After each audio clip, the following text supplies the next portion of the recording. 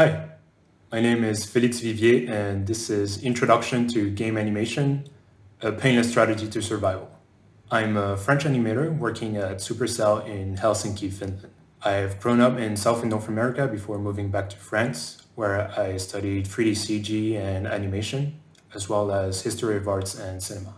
I previously worked at Pretty Simple in Paris, as a freelancer in Madrid, as well as Uh, an animator at Axis Studio in Glasgow, Scotland. And now I work at Supercell, where I take care of animations in the Brawl Stars team. So, what is Brawl Stars?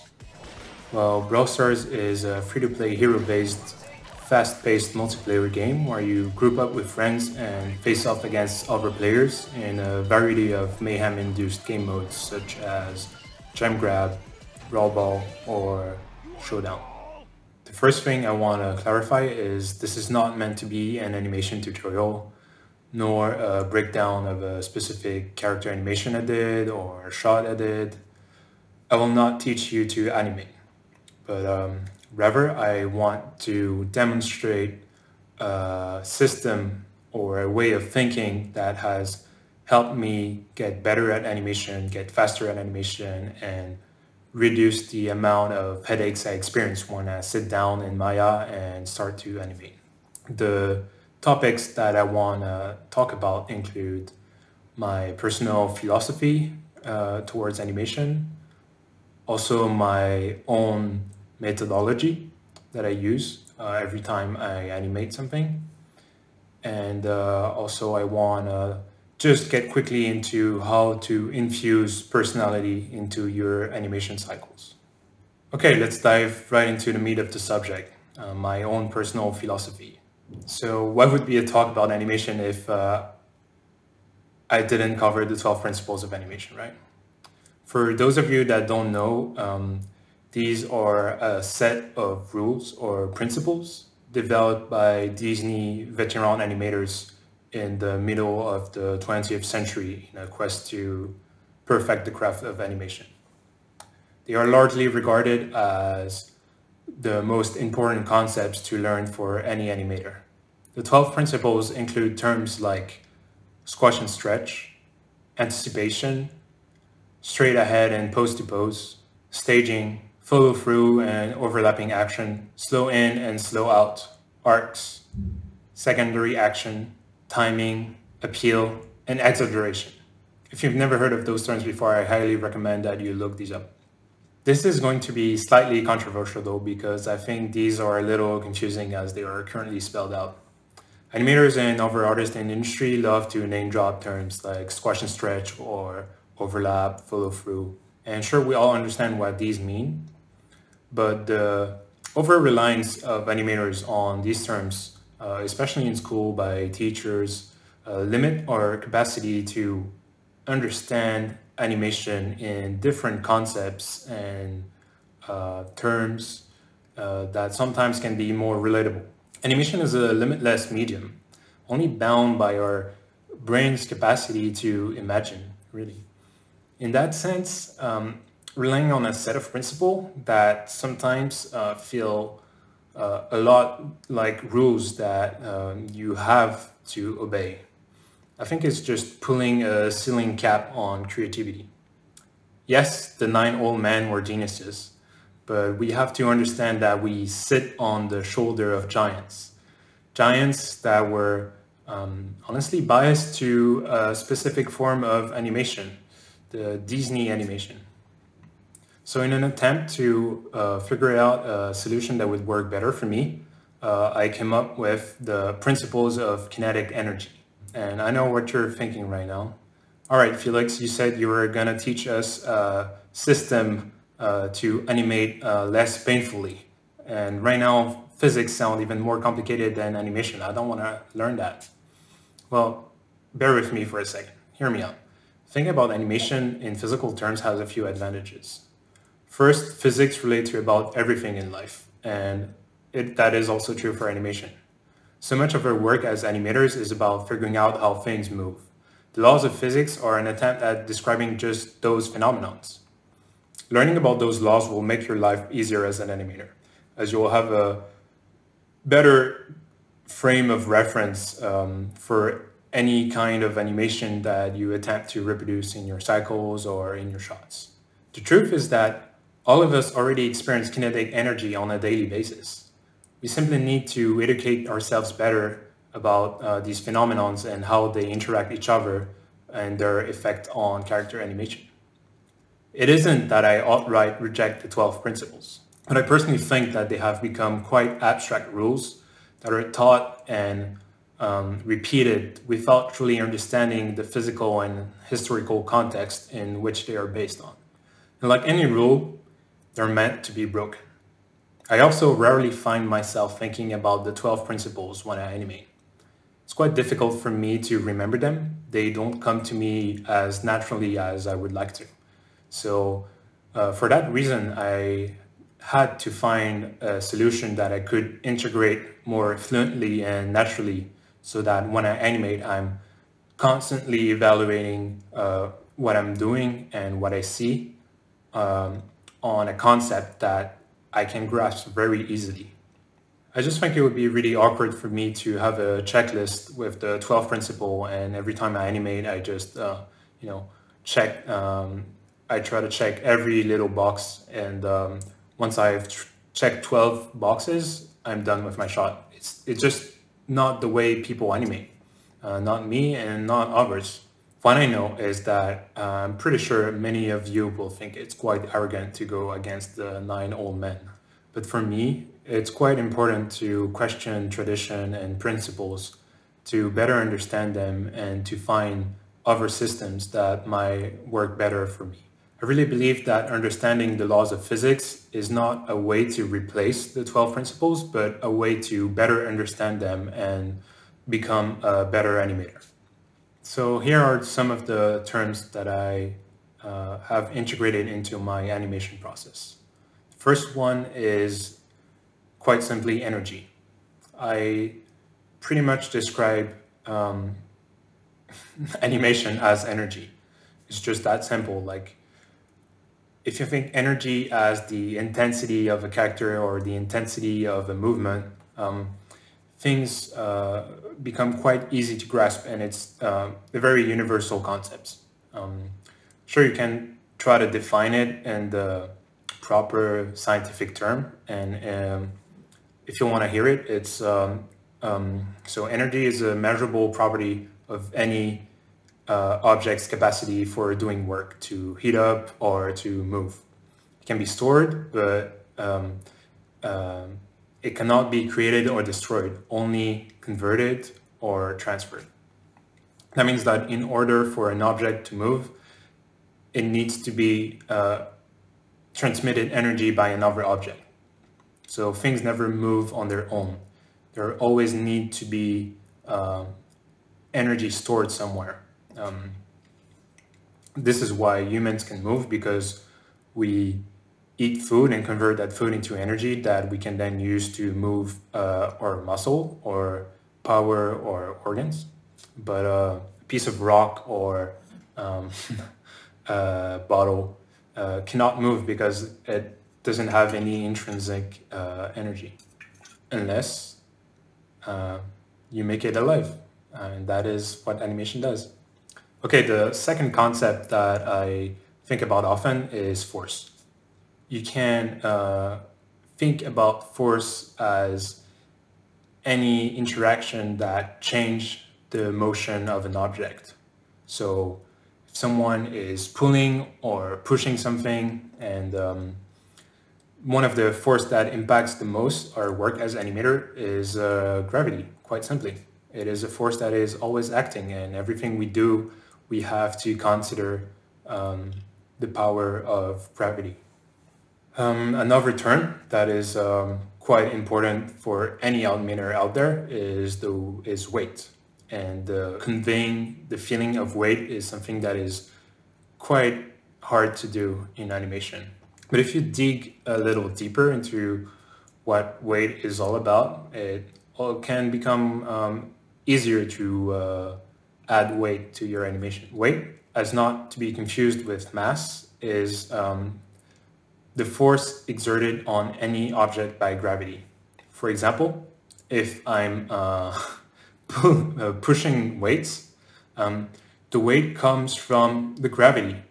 It's not that the weight has an intrinsic force that is pulling it downwards. It's that gravity is affecting that object. And the more mass an object has, the more weight it has. Um, but if you're animating things in space, for example, uh, suddenly uh, you're removing gravity out of the equation and then uh, things don't have weight anymore, but they still have mass. This is where things get slightly complicated. Um, momentum is a tricky but very useful concept to understand. I think it's very beneficiary to uh, your animation if you can implement that concept. Um, but um, obviously, uh, I don't think that you need to have a very developed or advanced knowledge uh, about momentum and the law of uh, conservation of momentum. So momentum is um, mass multiplied by velocity. It's a force with a magnitude and a direction. And what that means is that um, the more mass a moving object has, the more uh, or the faster it moves, the more force it has. Basically, um, momentum is the force with which an object is moving. If you think of a bowling ball, it has a large mass. So even if it's not moving that fast, it will have a lot of strength. And the same way that as a baseball uh, has a very small mass, it still can have a lot of force if it's thrown uh, very fast. So if you're looking at this uh, uh, gun firing GIF, uh, what you're observing um, is actually uh, the law of conservation of momentum. And basically that law states that um, in a closed system, so in a system where you only have the gun and the bullet, if the gun is stationary, if it's not moving, it has a momentum of zero. It's basically the mass of the gun, which is, it doesn't really matter, and the velocity. If the velocity is zero, uh, which it is when it's not moving, then you're multiplying the mass, which can be, let's say it's uh, five kilograms, by zero, which means uh, momentum equals zero. The law of conservation of momentum states that uh, in a closed system, the amount of momentum before and after an event always has to be the same. So when you're fired a gun, velocity and momentum in one specific direction. And because of that momentum gained, the gun has to actually compensate to keep the momentum equal to zero. So it's moving in the opposite direction. So you have a positive velocity and a negative velocity. And that is why, um, that is what recoil is all about. It's about conservation of momentum. The last concept that I want to talk about is inertia. And this one is uh, just a little bit uh, easier to understand.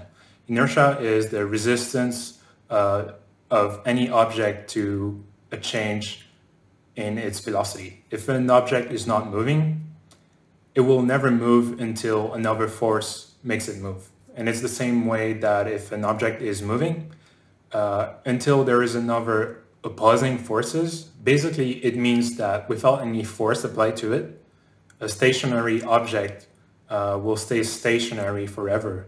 And uh, without any opposing force applied to it, a moving object will move forever um, and it will move forever in the same direction.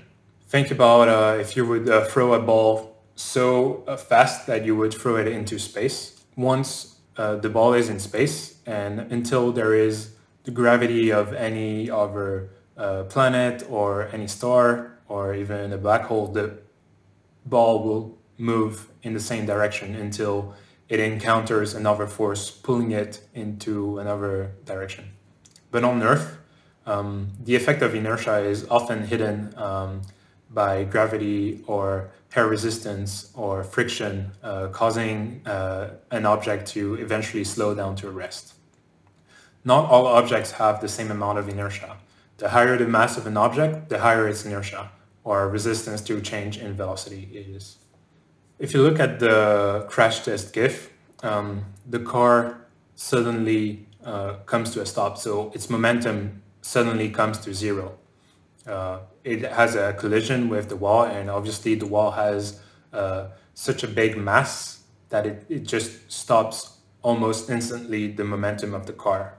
But because there are objects um, in the car, they continue their course um, until they are stopped as well. And this is a best example of inertia that I could find. So to tie this chapter up and uh, also demonstrate that this philosophy is not complete gibberish, uh, that has no real uh, concrete use in animation, here's how these laws relate to a very familiar exercise, the bouncing ball.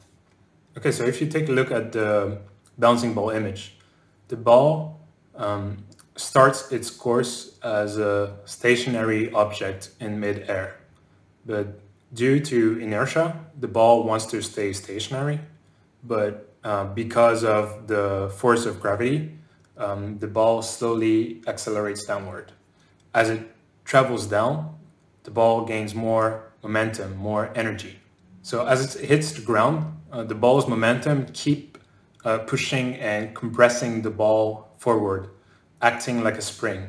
Uh, some of that energy gets converted into heat and sound, but the rest of the energy springs the ball back up and causes the ball to accelerate upwards. However, uh, since gravity and air resistance are acting as opposing forces uh, to that upward movement, the ball quickly loses velocity and reverses uh, its uh, downward course. So the same effects keep acting on the ball until it eventually runs out of energy. I don't think it's necessary to learn the laws of physics by heart, but spending something like uh, an afternoon learning the basic physics concept will give you a good understanding of how objects and people interact with the real world and will be extremely helpful um, when trying to figure out complex animations of your characters. Okay, so let's end this chapter with a totally real quote by Albert Einstein. Es ist Physik, Bruder. Here's another subject I want to touch on. Music and animation have a lot in common. And when I mean a lot, I mean it's basically the same thing. In their purest form, both music and animation can be appreciated by anyone of any age, of any culture or language that you speak. They both utilize rhythm and tempo to create an emotional reaction in our brains. A lot of it has to do with repetition and how this plays with uh, the audience's expectation. We can borrow a lot from um, the principles of music um, by using rhythm, tempo, and accents to create visually interesting animations. Look at that gif of Bugs Bunny uh, playing the piano besides being a totally goofy and such a unique and visually interesting way uh, to perform an action like playing the piano, so much of what makes it sing is really that contrast between those uh, three big jumps uh, and let's call it the finger walk. We can totally hear the music he's playing just by looking at the animation. This is what every animation should strive for. Okay, so here's a another totally real um, code by another famous German. Es ist visuelle Musik. The last concept that I want to uh, talk about in this uh, philosophy chapter um, are the specifics of game animation. Game animation has this extra design layer that uh, separates itself from its more narratively focused uh, cousin animation with a big A, if you will. In video games, animation serve a very specific purpose uh, depending on the type of game and depending on uh, the characters. Are you animating for a player character? Are you animating for a non-playable character? Are you animating VFX? Are you animating UI? There's uh, a lot of different types of animation in games there are three different uh, concepts uh, when animating for games that I think are important to remember. The first one is responsiveness. When the player inputs a control, you generally want the action to happen uh, almost immediately or at least as fast as possible. Responsiveness is important because it makes the player feel in control and able to react to what is happening in game. The second concept is feedback. Every time something relevant happens in game, uh, that information needs to be displayed to the player. And more often than not, that information is displayed as animation. Think about every time you hit or get hit in a fighting game. You need to be able to know you have uh, dealt or have taken damage. That information is usually displayed as a mix of animation, VFX, and UI. Feedback is extremely important to be able to react correctly to any action uh, during gameplay. The third and last concept is uh, clarity. Clarity simply means that animation needs to convey information to the player with as little noise as possible to limit confusion. There is no one way to approach game animation as there are as many approaches as there are types of games.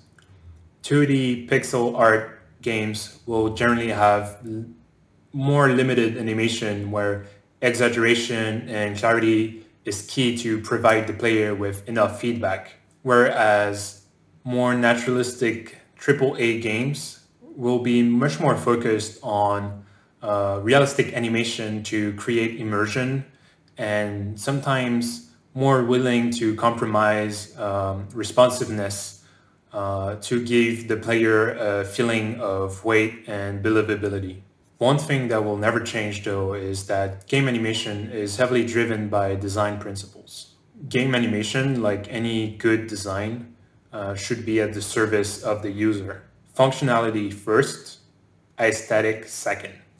I happen to have run out of uh, famous German to quote, um, so we can move on uh, to the next chapter, which is um, my methodology and uh, where I try to break down my uh, process of how I animate in Maya. So the first thing I do every time I open Maya is test out the rig. Basically, this is where you open the rig for the first time, you're starting a new animation, maybe you're using a new rig. So in that sense, before animating straight away like a knucklehead, familiarize yourself uh, with the rig. Sometimes uh, features can be hidden inside attributes, inside controllers. Uh, that is especially true for some of the most complex rigs out there. Um, so before you animate uh, using a controller because you thought uh, that um, some feature that you wished you could use uh, uh, wasn't available where it was just slightly hidden and now you have to reanimate everything. Um, it's good to just uh, try to figure out everything the rig has to offer. Move every controller. Um, try out poses just so you can see the range of the rig. Um, this is a perfect time to uh, find out bugs and report them as well as uh, request new features. Make sure that before you start animating, you have a solid grasp of what you're trying to achieve. Uh, you might have uh, a good idea of what you're going to be animating. Uh, maybe it's um, a baseball swing, or maybe it's a run cycle. Um, but no matter what, it's really hard to animate from your head. So make sure that you use references. Um, never assume how the body works and um, study body mechanics. Uh, if you want to animate someone running, uh, make sure that you understand um, the physical principles of uh, running.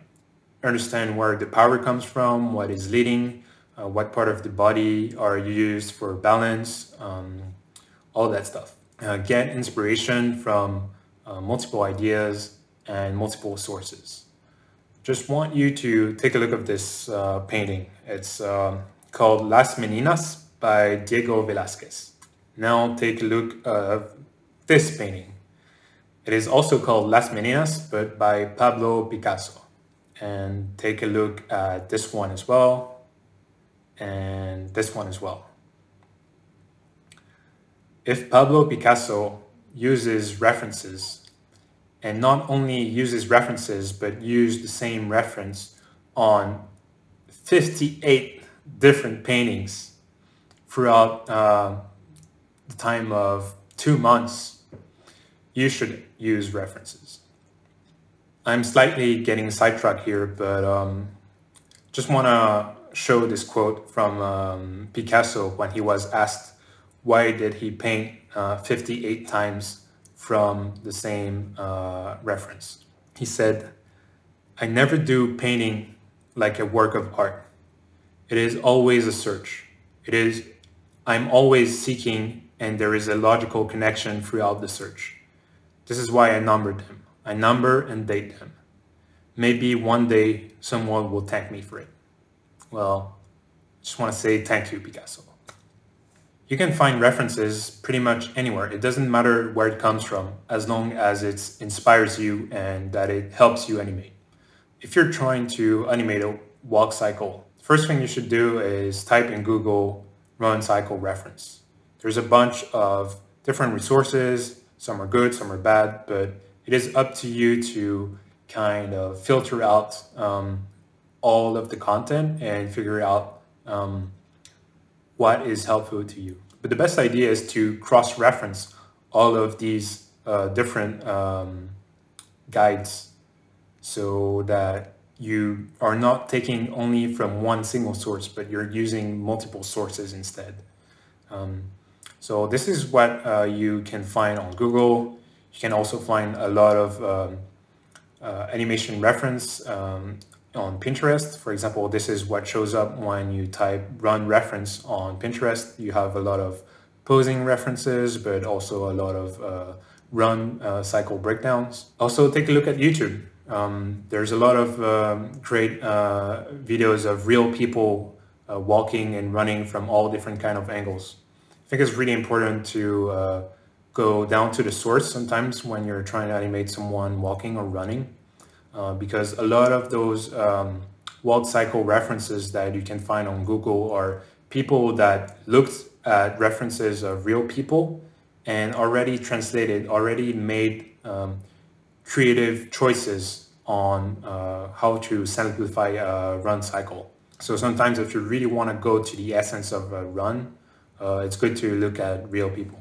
Uh, you can also look at movies. Um, there's any kind of movie that you know you find an action that is interesting, save it, save that clip, uh, put it in your library of references, and use it anytime uh, you think that is an opportune moment.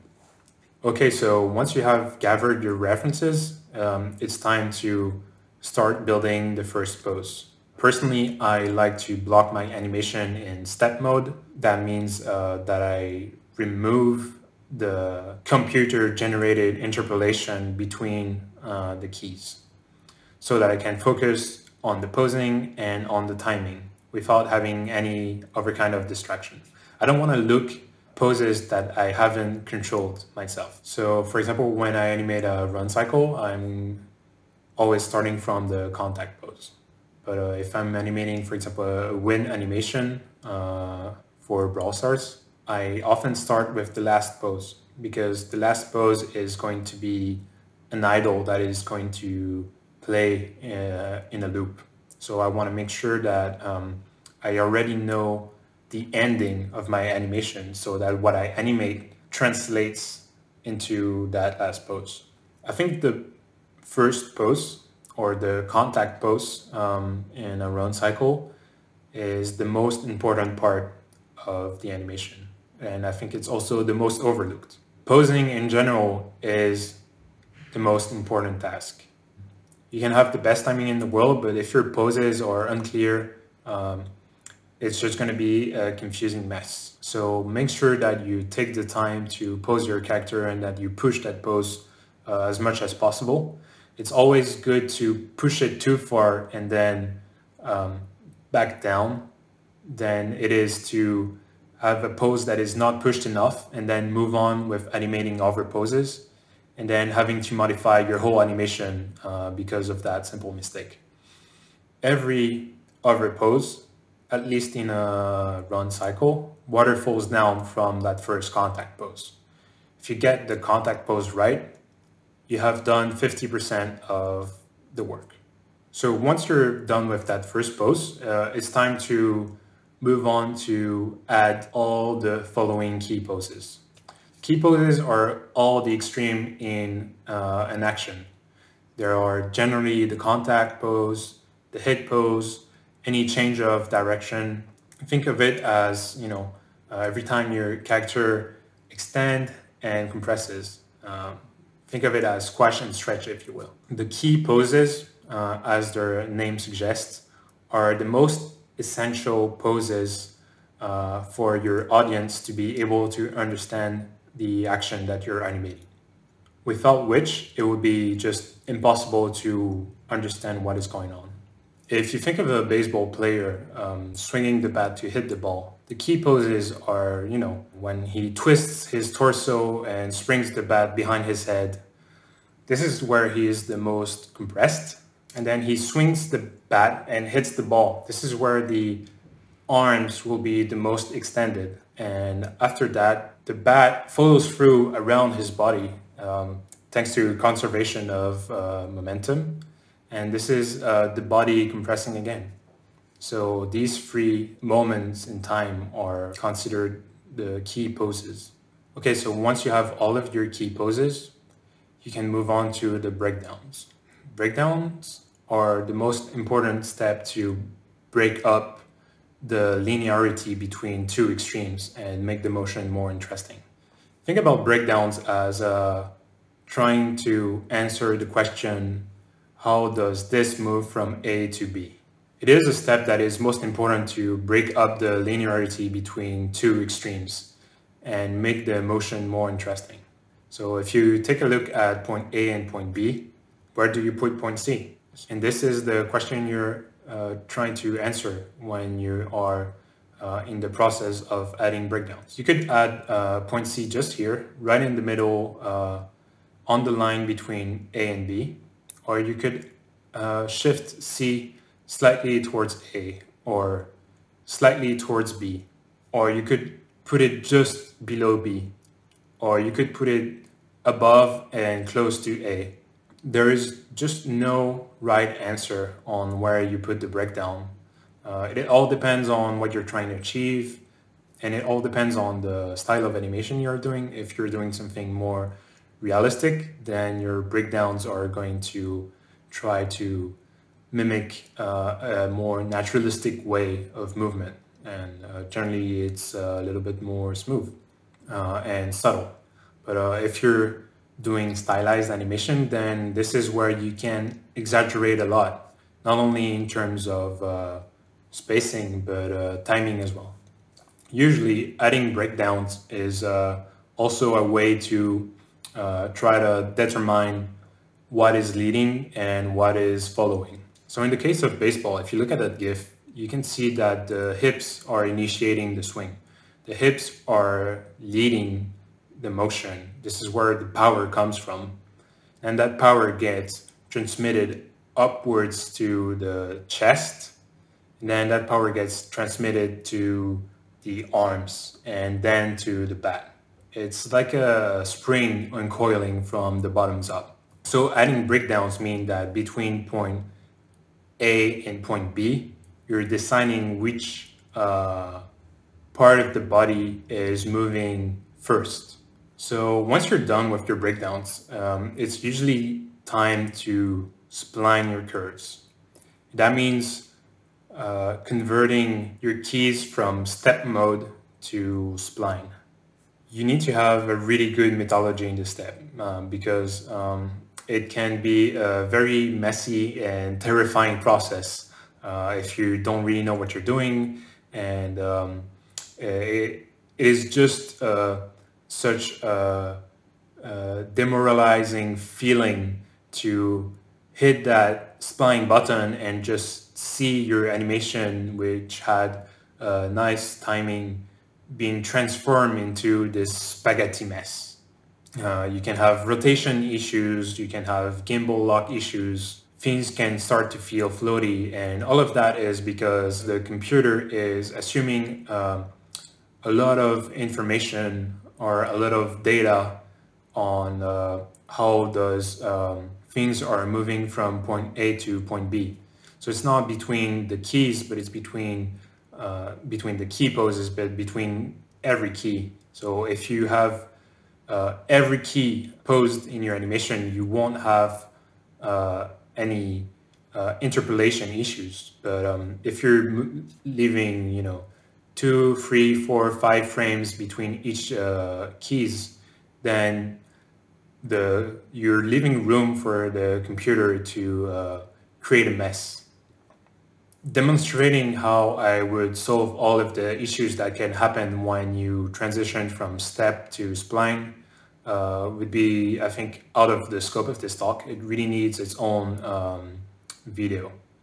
The key to navigate uh, splines without getting lost is to focus on cleaning up each control, uh, starting from the center of gravity, then moving on to the legs, and then moving up the spine and into the head and the arms.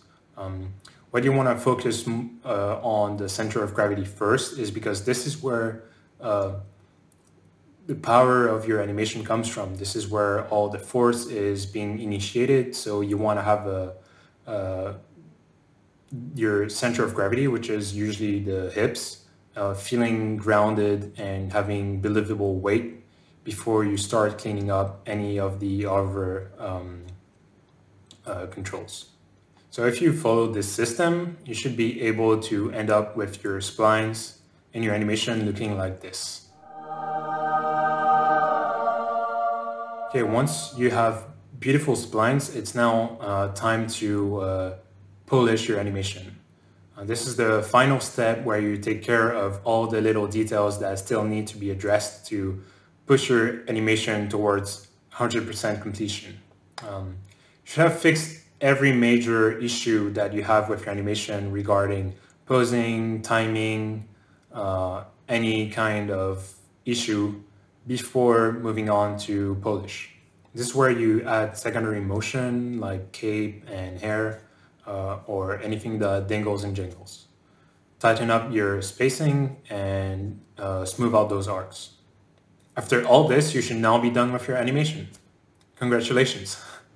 Although everyone knows that animation is never done.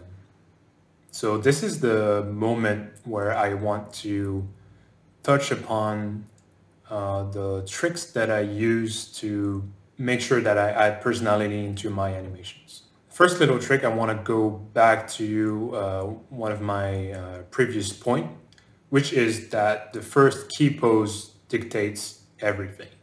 It's 50% of the work. If that pose isn't right, if it isn't pushed enough, it'll be very hard to get the rest of your animation looking good. And that is especially true for run cycles. The contact pose is where everything happens uh, personality-wise. This is where you make all the decisions of who is that character, uh, how does he run, and why is he running, this is where you can add all of those little characterizations that are going to make your run feel unique. Take a look at the two different poses right there.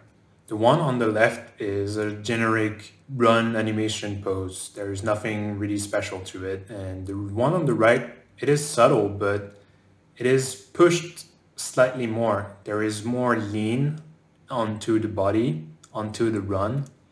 The head is also uh, rotated a little bit downwards as to show some kind of intensity. I also make sure that her arms are slightly exaggerated as to communicate a little bit more intensity on the run. The bandana as well is posed um, to make it look like it's floating in the wind or something.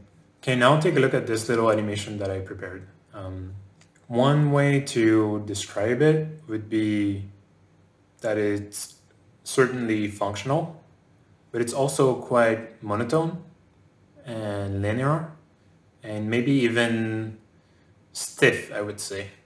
And if you look now at this second animation that I also prepared, it somehow conveys more emotion. It's more energetic, it's bouncy, it's organic. The main difference between this animation and the previous one is that I focused a lot on adding rhythm, adding some kind of interesting pattern, some kind of contrast, making sure everything is not moving the same uh, like a robot. I'm also breaking that rhythm. Uh, if you look at the hand, it's acting like a whip. And that whip aspect is uh, some kind of visual anchor that you noticed and that plays a rhythm in your head. The torso and the head are also offsetted and moving up and down as a way to emphasize the up and down rhythm of the hips. I also added secondary motion in the hair and in the bandana just to further emphasize uh, the rhythm of the animation. But the most important thing that I changed is adding more frames into the air time of the run. So the moment where the character is airborne. I've added maybe something like five frames just to emphasize the bounciness aspect of the character. And all of that without changing the speed. So both animations are running at the same speed, but one of them is just staying in the air longer. And that is adding more emphasis on the bounce aspect. And that bounce is the rhythm of the animation. This is where the musicality comes from. So this is what I like to do. I like to add musicality and rhythm into animations anywhere I can. The same way a film score gives distinct musical patterns uh, to different characters. Darth Vader or Indiana Jones can solely be identified by their respective melodies. And you can use the same idea in your animations to make some character feel more unique. If you plan your animations in terms of beats, you can achieve characterization by giving specific rhythms to specific characters. This goes back to my previous point about different ways you can think about animations and how animation is quite literally visual music. Instead of thinking what emotion I want to animate, I'm thinking about how can I translate that emotion into a rhythm and then that rhythm into an animation. And what that does for me is that it breaks down and simplifies the process of adding personality into my characters. First, learn concepts behind and beyond the 12 principles of animation. Second, remember that animation is music aim to create feeling and emotion through rhythm. Third, gameplay is king. You need to respect the inherent constraints of the medium. Four, create a systemic approach with concrete steps and do not deviate from these steps. And fifth, character animation is motivation-based action. Movement for the sake of movement is meaningless. Give your characters a soul by adding personality and emotion to your animations. And that's it. This talk is over. Thanks a lot for your time and hopefully this has been helpful to some of you. If you have any questions, please send them my way and I'll try to answer them in a separate uh, Q&A video.